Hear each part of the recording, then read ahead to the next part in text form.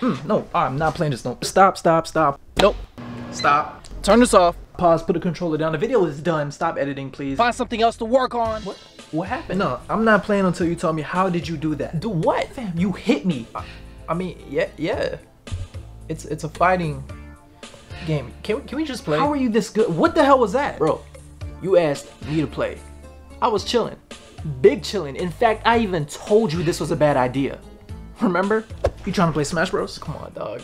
We're not supposed to be doing this. You brought your own controller? Why are you bringing up bullshit? That was literally five minutes ago. Dre, how, how did you do that? All right, look, simple. Just watch me. First, you gotta start moving, get enough momentum, and watch where your character is and where the opponent is. You're gonna grow a third arm, and then you're just gonna, you know, just swing it back. All right, then the moment he moves like that, you just. What was that? Who, who are you? What the? Ah, my baby! Oh, no, he took my baby! Help!